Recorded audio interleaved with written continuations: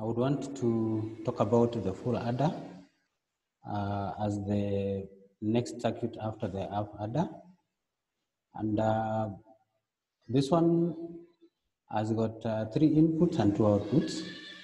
As you can see, the inputs are given by A, B, and C in. Uh, the outputs are given by the sum and the carry out. So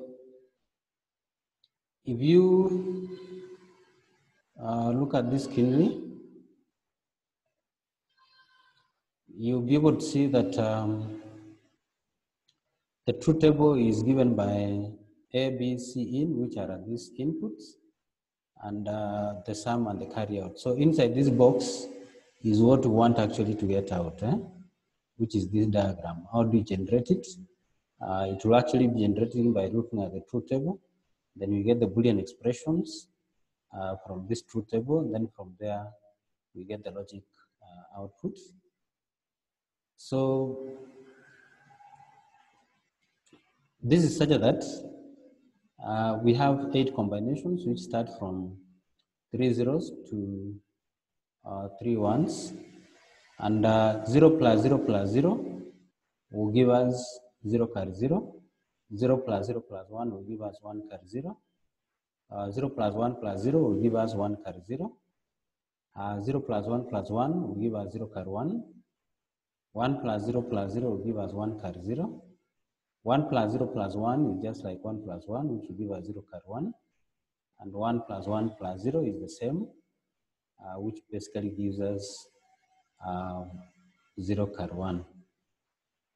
So 1 plus 1 plus 1 will actually be the same as um,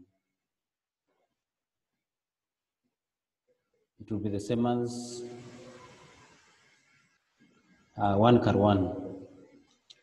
So let's see on how we generate uh, the Boolean expressions from uh, this table. And I can use one method, that is the method of uh, checking, in fact, it can be called inspection, where we have, you check the ones in the expression uh, or in the truth table. Uh, if you look at the sum, we have one, uh, one appearing at 001, another one at 010, another one at 100, and another one at 111. So uh, from what you know is that uh, if a variable at the input is zero, then uh, you're supposed to bar that variable. If it's one, you don't bar the variable. So let's look at what happens to all those. And you're looking at the sum is equals to, uh, the first one here is 0, 0, 1 for the input combinations, uh, which means we have A prime, uh, B prime, and then C is on its own. It is C but I will just use C for convenience purposes. And then the next one we have is 0, 1, 0, which is basically A prime, B, uh, C prime or uh, the next one is 100 which is basically A, uh, B bar and then we have C bar and the last one will be given by uh, 111 that is this one here uh, that is basically A, B and C. Uh, please note that that's expression we actually get when you take the variables directly from uh, what we have here uh, in the truth table and changing them to binary form. So how do we get this expression uh, coming to A exclusive or B exclusive or C in? Uh, this is what you do. You can take A um, outside the bracket, so A bar, and inside the brackets you are going to have um, uh, B uh, bar, that's B prime, uh, C or uh, B uh, C prime. Or outside the brackets there, we have A, take it outside the brackets also. Uh, you're going to have inside here B um, uh, prime or B bar, and then C uh, prime, that is C bar or BC. So if you were to look at these two uh, expressions, you realize that uh, this one is an X OR gate and this is an X, X NOR gate. X OR gate for B, uh, X OR C, and uh, X NOR gate for B, X NOR C. So if we equate Y is equals to, uh, we can equate Y, Y is equals to uh, B uh, prime C or B C prime, which is basically equivalent to uh, B exclusive or uh, C. And uh, therefore, your Y bar, that's Y prime, which is actually the, um, that one bad, will basically give us uh, the next one.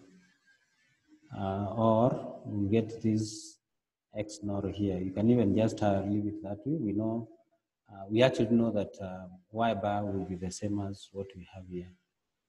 So if we substitute uh, Y in this expression, then we are going to have A bar, um, then Y, or A uh, Y bar. Uh, but what is A bar Y or AY bar? That's basically A exclusive or uh, Y. And uh, what's Y? Y is basically uh, B exclusive or uh, C. So we take A um, and then we put exclusive or, uh, then we can even take uh, this one, we copy and we paste it here. That gives us A exclusive or B exclusive or C. And uh, that's how this expression comes in. So you have minimized it and you can actually be able to implement it using just one XOR gate with three input if it's available. So let's look at um, uh, C out, how we get uh, C out from uh, the truth table also. And uh, this is what we take C, then O is equals to. We similarly look at the ones for C out. And the first one is 0, 1, 1. Uh, the second one is 101. The third one is 110. And the fourth one is 111. So these are the ones we're having for our C out. So the first one, which is 011, just change that to variables and it will be A bar, uh, BC, or if the second one is 101, which is basically A, B bar, uh, C, or uh, the next one is 110, which is basically A, B, C bar, or the last one is A, B, C, which is uh, or is um, 111, which is A, B, C. And please know that based on that, we can be able to uh, get our expression given by that. But how do we come to this point of uh, uh, BC or AC or AB?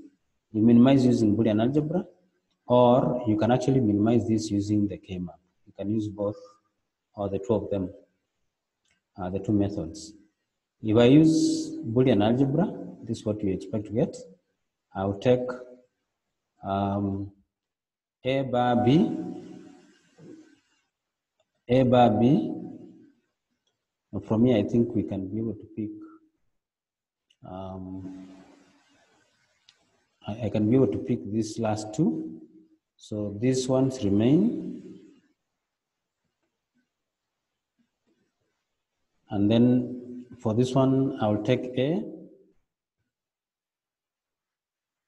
Uh, I'll take AB inside, outside the brackets, and inside the brackets, I'll have C or C bar. Uh, but what is or It's actually the same as uh, 1, and therefore we eliminate it from the expression. So where we'll be left with um, only AB like this. So we are left with A bar B, um, A bar BC or AB bar C or AB. So what you do with that expression next, you can actually be able to pick the same. And uh, for this, you can take A outside the bracket. So I just pick the same expression a copy, and then I paste here. Um, then I expect, uh, so I can have, I can have this outside, uh, but with this one, I introduce uh, brackets here, in which case I'll have A outside. So I'll take A outside, then inside I'll have uh, B bar C or B. So B bar C or B. But uh, if you use if, if you use um, distributive law here, you realize that the B bar goes based on the A, uh, the the distributive law which gives us uh, A or um, A bar B. So I'm actually using this one, uh, A or A bar B, which is basically equals to A or B. If you look at the distributive laws, uh, that's what we are expected to get. And that's what we'll use here to minimize this expression. So if I quit, uh, I, I copy this, all of that, and I will be able to minimize it a bit. So equals to, you realize that my B bar goes based on the distributive law and we are left with um, A into bracket C or B, which you can actually have as uh, A bar, uh, BC, or uh, AC, or AB. Now, if you look at this one, these two, I can take C outside the brackets. So I can still copy this and paste it here. And I can be able to take uh, C outside the brackets.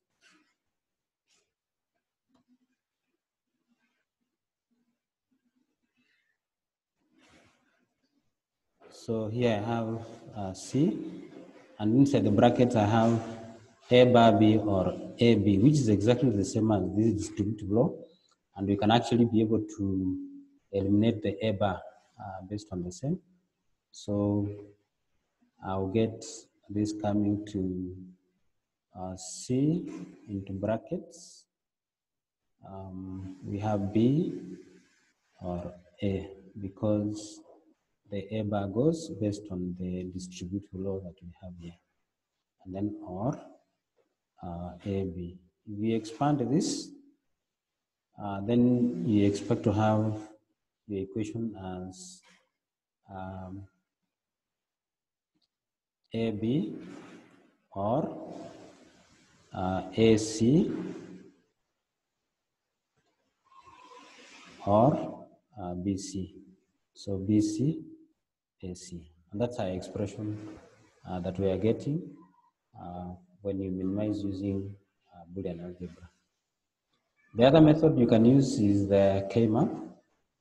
And uh, for the K-map, you can be able to draw, you can actually draw it because we have three variables. Uh, so I can draw the one for uh, the sum here.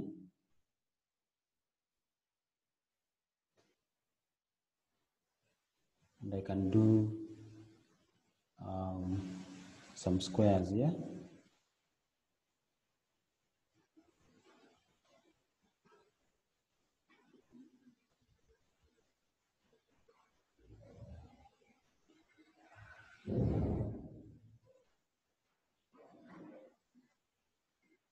Or I can just do lines.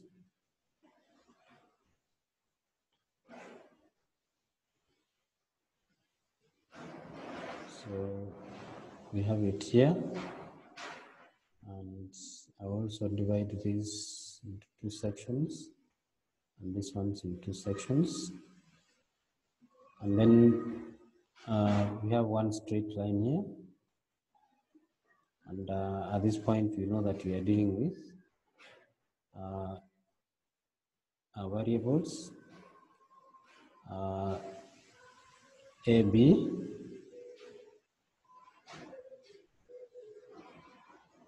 So we are dealing with AB here.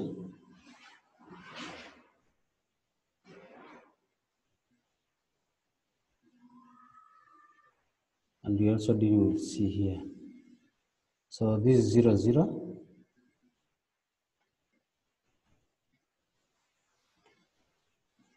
Uh, zero, one. Uh, one, one. And we have uh, one, zero. Uh, actually, this is based on the grayscale or the gray the gray code. So this is zero, uh, this is one. And um, where are ones for the sum? That's what you pick. Uh, the ones are given at zero zero one, so we put a one at zero zero one. There's a one here. Another one at zero one zero, so we put a one at zero one zero. There is another one at 100, so 100, t square, we put a 1. Another one at 111, which is this one, 111, we put a 1 there. You realize that all these cannot make a group, and therefore what you do, you just have them on their own. So you circle them,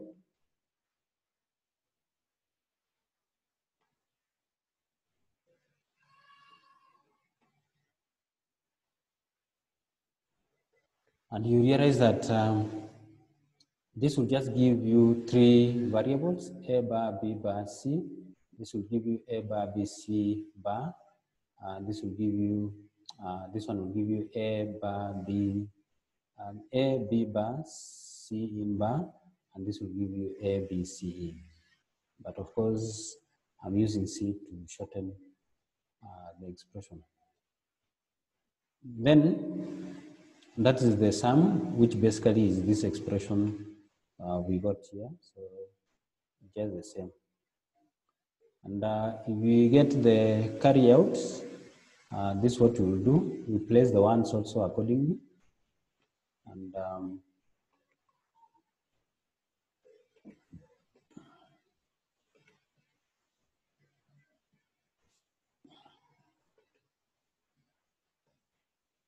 So I have my ones for the carry out, which are uh, 0, 1, 1. So you put 0, 1, 1, 0, 1, 1. That's what we have a 1. The next one, if you read is 101. So 101 is this one. The next one is 1, 1, 0, which is this one. So 1, 1, 0, you put it here. The next one is 111, uh, which is basically this one.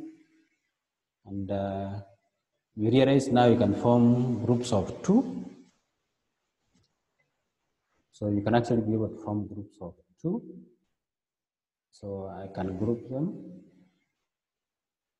And this is what I'm going to use. So I can group these ones. I can group these ones.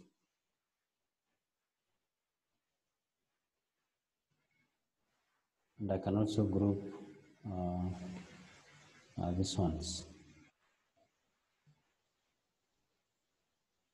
So we need to move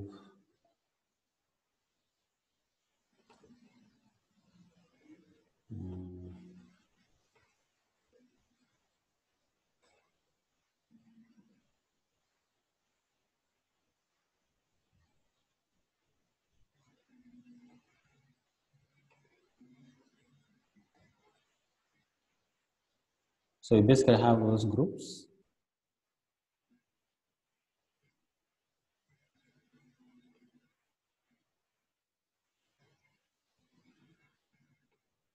So I group this one and I also group this one like that. So this forms a group, this forms a group, this forms a group. And you start with this first group, it's 1, 1, which is constant. Uh, please note that you are not moving horizontally, so we are not moving horizontally from this square to any other square in the neighbors, uh, then you expect that uh, A remains one, B remains one, it's constant. Uh, but when you move downwards, you realize that C will be changing from zero to one. So our expression then we have gotten the AB that we have here. I can be able to put it down up here so that you see how it comes about.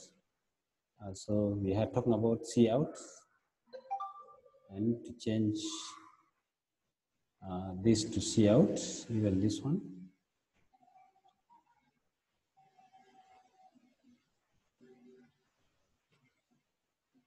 So here we are C out.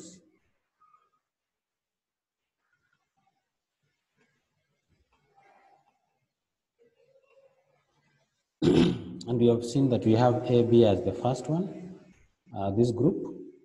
Then this group, um, for this group we're talking about uh, from here to here, uh, B is constant at one. So we put B there. And then from uh, vertically, you are not moving anywhere. It is C, which is actually constant. So you're left with B, uh, C, or the last group, this one here.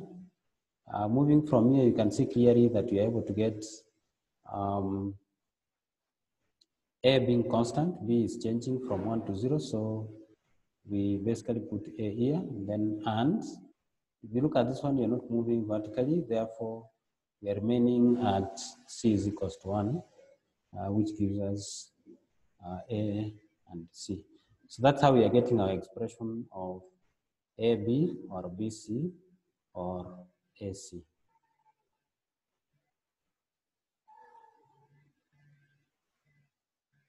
And uh, that's how we get the two expressions for the sum and the carryouts.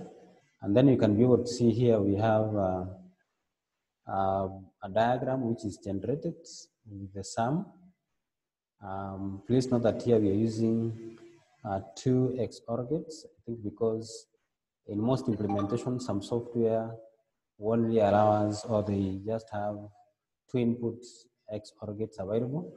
And therefore to implement it uh, using two input XOR gates, this is how you do it. Take the two X or B first, pass it through an XOR, then the output together with C, you pass them through uh, another XOR gate to be able to get uh, the sum that you're getting here.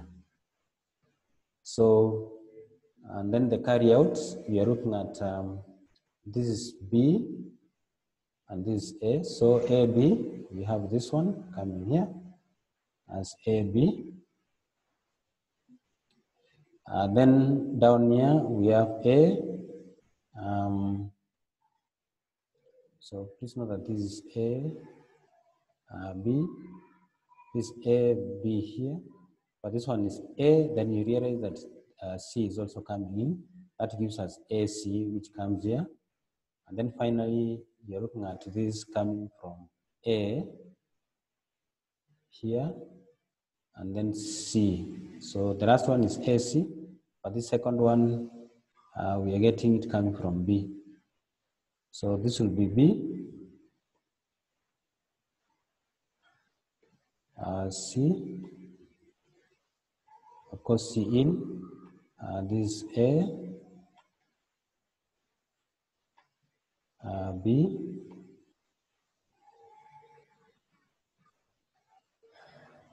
and then uh, this is coming from A down, and then this other one is coming from C, then when they go in, we have uh, AC.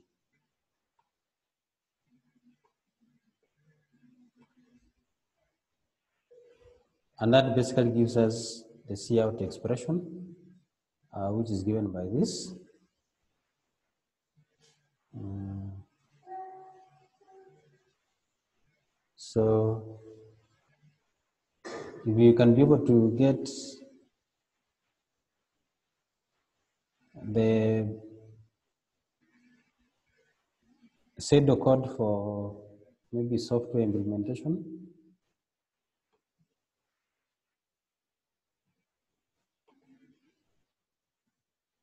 We'll take uh, the truth table. And we can say that um,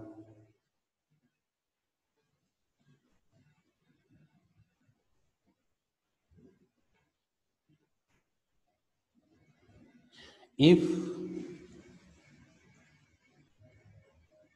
A is equals to uh, zero, I can actually use that.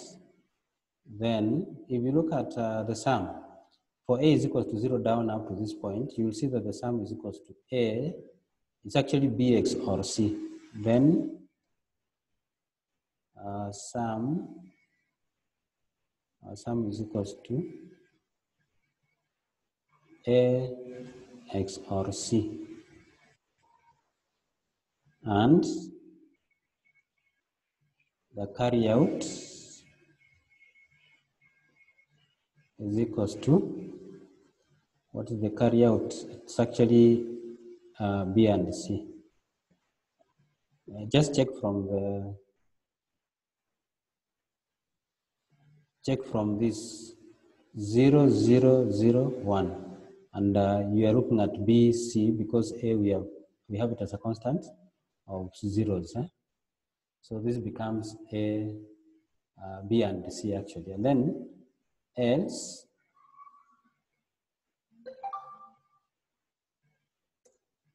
else, our carry out, um, because when we have now A is equals to one, uh, our sum uh, will be equivalent to, uh, just look at this one, zero, zero, one. That's equivalent to B. Um, we can use either the complement or we can just use the, uh, the prime. So I can use this complement, then in brackets, I put B, X or uh, C. And then I close brackets. And the carry out is equals to uh, this is 0, 1, 1, 1, which means B or C. So B or uh, C. That will be the pseudocode. One of them, uh, please note that you can have many pseudocodes out of this, depending on how you look at this truth table. You can have quite a number. And if you want to do this in programming, then you can implement it in whichever program that you want to use or programming language that you want to use. So this can also be implemented using different software, simulation software. Uh, so sometimes you use Circuit Maker. Maybe I'll be able to show how that one can be implemented. And that's all about the uh, full adder uh, circuit. Thank you.